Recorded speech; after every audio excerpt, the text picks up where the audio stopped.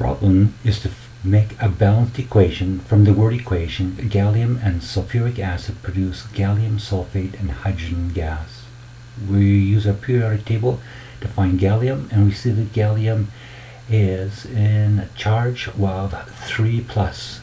We don't use the ion when we write down the metal gallium, we just write down its atom as gallium.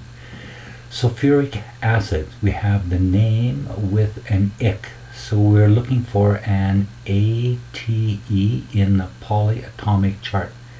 Over here we see that this is going to help us and gives it away. So we look for our sulfate and we see it has a charge right here of uh, 2 minus. Acids are, have hydrogen. Hydrogen has a 1 positive charge. Crisscross, we don't write down the 1. The 2 comes over here, so it's H2SO4 as sulfuric acid. Gallium in the periodic table we see had a charge of plus 3.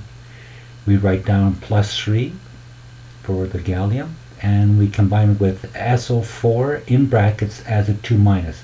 Crisscross, the 3 comes over here and there are 3 SO4 ions as the group. The 2 from the sulfate crisscross comes over here and we need to make a balanced formula unit 2 gallium ions.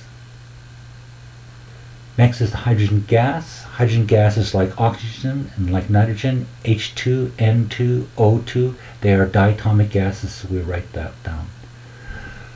The next step is to balance the equation. And we see we have two gallium on this side. So when we say balance on either side of the reactants and the products, we're going to have the equal number of atoms. I have to put a, a 2 here so I have two gallium on this side and I will have two gallium on this side. Second ion that we're going to look at, we're going to look at as a group. We have SO4 and we have SO4 here which we're going to put in brackets. I have three SO4s over here on the side of the products, three SO4 so I need 3 over here. I only have 1, so I have to put a 3 in front as a coefficient. So now I have, as a group, I have 3 SO4s as a polyatomic group, and I have 3 SO4s as a polyatomic group on this side. The last group are, are hydrogen ions. And we see here that I have two times 3. I have 2 times 3, so I have 6 hydrogens on this side with the reactants. On this side I have to make so that I have a balance, 6, so I will put a 3 in front. 2 times 3 gives me 6 hydrogens. We'll always do a check, so galliums. On this side, on the, I have 2 galliums that are in the reactants and they are balanced with the two galliums that are in the products. So they are balanced.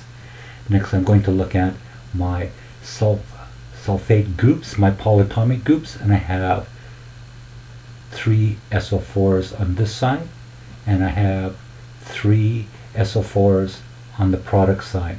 Lastly, I'm going to look at my hydrogen ions, and on this side I have 2 times 3 is six hydrogen ions. So I have six hydrogen ions on this side. And I have 2 times 3. I have six hydrogen ions on this side. So they are balanced as well. With my check now, I can see that my balance equation has a ratio of 2 to 3 to 1 2 3 and they are the coefficients